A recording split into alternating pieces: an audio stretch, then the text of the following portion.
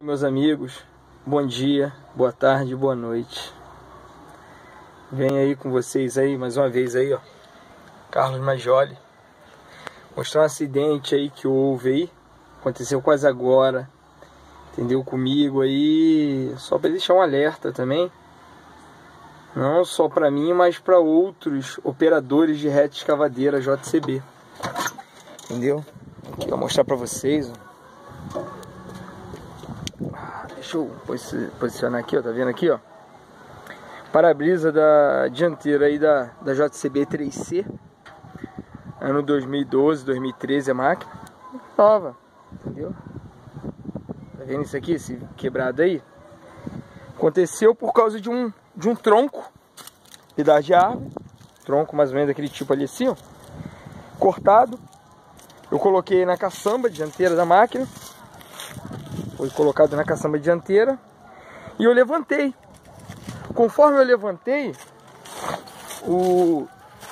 uma coisa aqui que aconteceu. O estabilizador da caçamba arrebentou. Entendeu? Já estava adaptado aqui, ó. Rebentou. Soltou daqui, ó. Um pedaço perdeu. Rebentou e a, a caçamba veio a fechar entendeu? Conforme eu levantei, o, o tronco ele foi rolou, caçamba fechada, ele rolou, foi direto aqui no capu. Ah, deixa eu mostrar para vocês, o sol tá atrapalhando, entendeu? Foi direto aqui no capu. Daqui é um quebrado, ó. Ah, deixa eu subir aqui. Quebrado. Aqui, ó. Mostrando para vocês, ó. O tronco bateu aqui e bateu no para-brisa. Sorte que bateu aqui na quina e no para-brisa. Porque se tivesse pegado no meio, eu tenho certeza que tinha me, me acertado. Graças a Deus aí não, não me acertou. Entendeu? O chão tá cheio de vidro. Vidro no chão. Um pouco de vidro aqui também, ó. Estilhaço de vidro no chão, entendeu? Graças a Deus comigo não aconteceu nada. Mas aí, um alerta aí os amigos aí. Sempre verifique o, o nivelador de caçamba, entendeu? Nivelador de caçamba ali, porque por causa do nivelador esse acidente aconteceu, entendeu? Poderia não ter acontecido, não ter acontecido, entendeu? Mas aí tá um, tá um alerta aí para tomar cuidado, porque ó, onde que eu tava passando, ali é desnivelado o solo, ó.